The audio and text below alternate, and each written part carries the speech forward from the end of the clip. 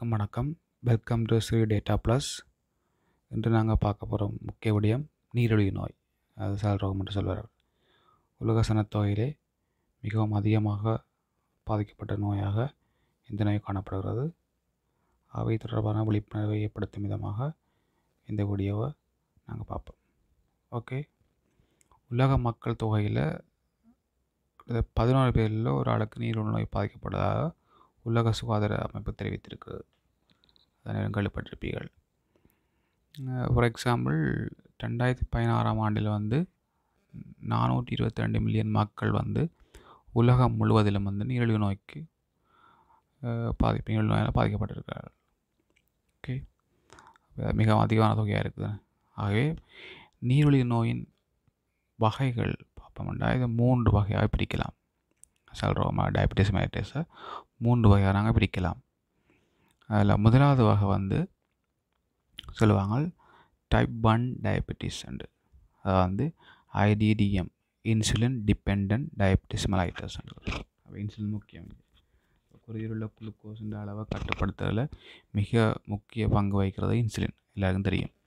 சதை சதையால் சுரக்கப்படுற ஒரு சுரப்பு ஹோமான் இன்சுலின் ஓகே அப்போ டைப் ஒன் வந்து அநேகமாக வந்து குழந்தைகள் சிறுவர்கள்லாம் இது காணப்படும். இளம்பெற இளம்பராயத்தினருக்கு தான் இது ஏற்படும். இப்போ இவர்களுக்கு என்ன வேணும்? இன்சுலின் தான் சிகிச்சை முறை. இன்சுலின்லாம் வேறு வழி இல்லை என்றால் இவன் இன்சுலின் சுரப்பிகள் வந்து இன்சுலின் சுரக்கும் இந்த தன்மை அந்த கெப்பாசிட்டியை முட்டாக இழந்திருக்கும். ஓகே அப்போ இப்போ டைப் பண்ணால் அநேகமாக கிட்டத்தட்ட ஒரு பத்து விதமான நீரிழிவு நோய்கள் தான் டைப் ஒன் வகையில் இருப்பினும். இப்போ இவர்களுக்கு சிகிச்சை முறை இன்சுலின் தான். இன்சுலின் விட இல்லாமல் வேறு ஒன்றும் செய்யலாது.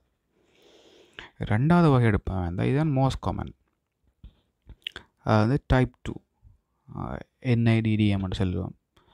நான் இன்சுலின் டிபெண்ட் டயபெட்டிஸ் மெலைட்டஸ் இப்போ இவைக்கு இன்சுலினில் தாங்க இல்லை வேண்டிய பிரச்சனை. இப்போ இன்சுலின் சுரப்பிகள் வந்து போதிய அளவில் இன்சுலின் சுரந்து கொண்டு இருக்கும் அதில் சுரக்கப்படுற இன்சுலின் வந்து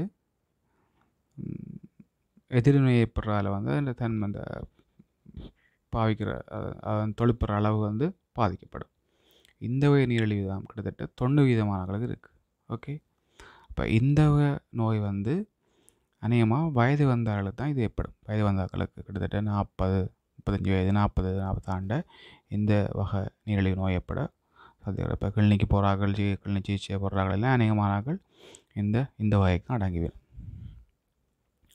அப்போ இந்த வகை நோய் வந்து என்ன?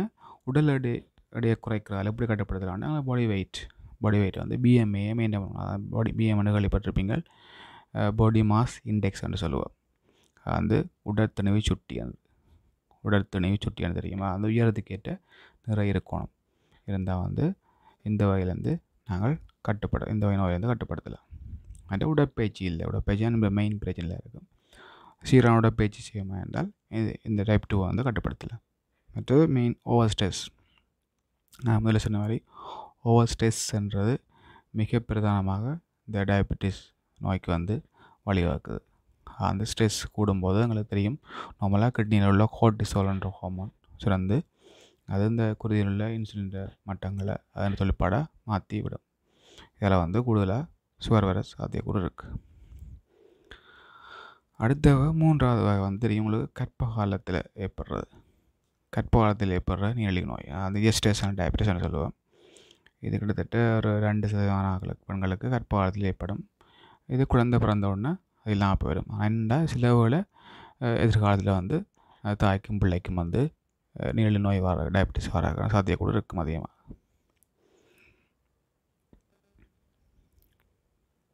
ஓகே. இது நீரிழிவு வகையில் பார்த்தாங்க. அப்போ நீரிழிவு நோய் பாதிப்புலேருந்து நாங்கள் பாதிக்கிற நீர் நீரிழிவு நோய் பாதிப்புக்கு வந்து ஒரு வயது தடையாண்டு இல்லை. கிட்டத்தட்ட ஒரு நாற்பத்தஞ்சு வயதுக்கு மேற்பட்டவர்கள் இல்லை.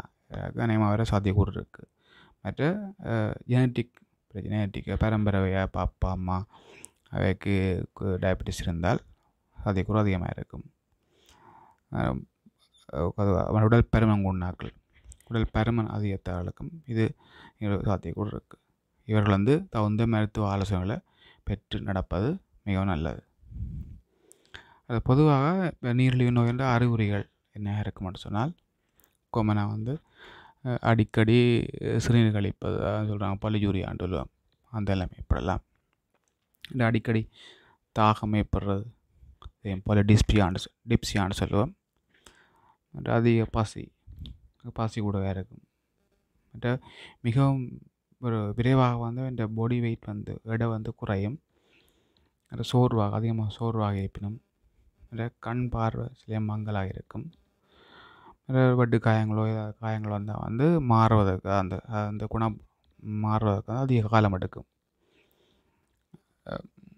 நிறைய உள்ள திரும்ப திரும்ப ஸ்கின் டிசீஸாக தோல் இன்வேஷன் வர சாத்தியக்கூறு அதிகமாக இருக்கும். வேறு சிறுநீர் பையில் தொற்று ஏற்படக்கூடிய சாத்தியக்கூறு இருக்கும். பொதுவாக அந்த பாதம் உள்ளங்காலில் உணர்ச்சி குறைவாக இருக்கும். அதில் எரிச்சல் தன்மை இருக்கும். உள்ளங்கால் உள்ள உள்ளங்கால் எரிக்கிற மாதிரி அப்படியே தன்மைகள். எல்லாம் நீரிழிவு நோயின் டயபெட்டிஸ் மெலைட்டிஸ் என்ற அறிகுறிகளாக காணப்படும். அப்போ இந்த நீரிழிவு என்ன விளைவு ஏற்படும் நீரிழிவு வந்து நடக்கும்ன்ற பிரச்சனை ஒழுங்காவோட பேச்சு செய்து தியானங்கள் யோசனங்கள் செய்துட்டு வரைக்கும் பாதிப்பு அதிகமாக குறைவாக இருக்கும். நான் சொன்ன மாதிரி நான் ஃபார்மோகோலி மெதட்லேயும் வந்து இந்த நீரிழிவு நோயை கட்டுப்படுத்தலாம். அதை மீறும்போது தான் நாங்கள் பாமகோலி ராக்ஸ் முறையை பாவிக்கிறோம்.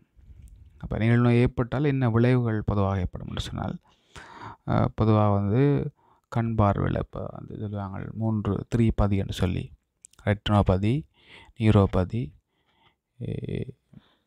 நெட்ரோபதி என்றது ரெட்னோனா கண் கண் பார்வை எப்படி கண் பார்வையில் பாதிப்பு ஏற்படும். நீரோபதி என்றது நீரோன்றதுனா நீரோபதி என்றது கிட்னி. கிட்னியில் அந்த சிறுநீரகத்தில் பாதிப்பில் ஏற்படலாம் நீரோபதி என்றது சாரி நீரோபதி என்றது நரம்பு நரம்பில் பாதிப்பு நரம்பு பாதிப்பு ஏற்படும் போது வந்து விரைப்புத்தன்மைகள் அதில் ஏற்படக்கூடிய வாய்ப்புகள் அதிகமாக இருக்கும். நீரோபதி என்றது. நெஃப்ரோபதி என்றது தான் கிட்னி நெஃப்ரோண்டா கிட்னி. நெஃப்ரோபதி என்றது சிறுநீரக பாதிப்பு. மூன்று பாதி ரெட்டினோபதி நெஃப்ரோபதி நீரோபதி. என்ற மூன்று இடங்களில் பாதிப்பு ஏற்படக்கூடிய வாய்ப்புகள் கூட இருக்கும். ஓகே. மற்ற பக்கவாதங்களும் ஏற்படக்கூடிய வாய்ப்பு இருக்குது மற்ற ஒன்றா கோமா நிலைமை கூட போயிடும். மற்ற அதில் கடைசியாக இறப்பு கூட ஏற்படும். ஓகே. இப்போ கவனமாக இருள் நோயை கட்டுப்பாடில் வச்சுக்கிறது அவசியமாகும். ஓகே. எப்படி நீரில் நோயை நாங்கள் கண்டுபிடிக்கலாம்? வந்து பரிசோதனை முறைகள் என்று பார்த்தால் நார்மலாக வந்து நீங்கள் ஃபாஸ்டிங் பிளட் சுகர் ஒன்று செய்வீங்க. செய்து பார்க்குறதா? வந்து இரவில் சாப்பிடாமல் விடிய காலம் செய்து பார்க்குறது. அது கிட்டத்தட்ட நூற்றி இருபத்தி ஆறு மில்லி லிட்டர் மில்லிகிராம் டெசி லிட்டருக்குள்ளே நூற்றி இருபதுக்குள்ளே இருந்தாண்டா ஓகே அதுக்கு மேலே போனால் தான் நாங்கள் நீரிழிவு நோய் என்று யோசிப்போம் அதே ரெண்டும் பிளட் சுகர்ன்ற ஆர்பிஎஸ் என்று ஸ்மெல்லு மாட்டாக நீங்கள் செய்கிறது இப்போ சாப்பிட இடையில செய்து பார்க்குறது. அது வந்து இருநூறு மில்லி கிராம் டெசிலிட்டருக்கு மேலே போகும்போது நாங்கள் அதுக்கு நீரிழிவு நோய் இருக்குன்னு ஒரு செய்வோம் நல்லது. எப்படி நாங்கள் இந்த நோயை தடுக்கலாம் சொன்னால் தடுப்பு முறைகள் சொன்னால் ரெண்டாவது வகைக்கு தான் டைப் டூக்கு தான் கூட விஷயம் இருக்குது ரெண்டாவது தொண்ணூறு வீதம் அதான் கூட பாதிக்கப்படுது. அப்போ நாங்கள் என்ன செய்வோம்னா தடுப்பு முறை உடல் அந்த சாரி உடல் எடையை வந்து குறைக்கணும். பாடி வெயிட்டை வந்து குறைக்கணும். அதாவது உடல் செயற்பாடுகள் அது பயிற்சிகள் நாங்கள் கூடுதலாக செய்யணும். அது ஆரோக்கியமான உணவு பழக்க வழக்கங்களை கடைப்பிடிக்கணும். அதன் மூலமாக இந்த நோயை வருவதை தடு தடுத்து தடுத்து கொள்ளலாம். இது உடற்பயிற்சி கிட்டத்தட்ட ஐம்பது தொடக்கம் தொண்ணூறு நிமிடங்கள் வந்து உடற்பயிற்சி செய்வதன் மூலமாக எள் நோயிலேருந்து வர பாதிப்பிலேருந்து நாங்கள் கட்டுப்படுத்தி கொள்ளலாம். குறிப்பாக அதன் உடற்பயிற்சி மற்ற ச உணவு பழக்கங்களில் மாற்றங்கள் ஏற்படுத்துறது அதிக சர்க்கரை சேர்ந்த உணவுகளை சாப்பிடாமல் வர்றது இறைச்சி வகைகள் அதிகமாக குறைத்து கொள்ளுதல் மற்ற நிறைவிட்ட கொழுப்பு பொருட்களை எடுத்துக்கொள்ள த தவிர்த்து கொள்வது அப்புறம் புகையிலை பாவனை தடுக்கிறது புகைத்து மதுபானங்களை பாவனை தவிர்த்து கொள்வது அதன் மூலமாக நாங்கள் இந்த டைப் டூ வகையான டயபிட்டிஸில் வந்து நாங்கள் தடுத்து கொள்ளலாம். ஓகே நன்றி. இன்னொரு வழியில் நாங்கள் சந்திப்போம். இதை பிடிச்சிருந்தால் சப்ஸ்கிரைப் பண்ணுங்கள் லைக் பண்ணுங்கள் மற்றவங்களை ஃப்ரெண்ட்ஸுக்கு ஷேர் பண்ணுங்கள் அப்போ நான் அடுத்தடுத்த வீடியோ போடும்போது உங்களுக்கு விரைவாக கிடைக்கும். ஏதாவது கருத்துக்கள் இருந்தால் கமெண்ட்ஸில் தெரிவிங்க. ஓகே நன்றி. வணக்கம்.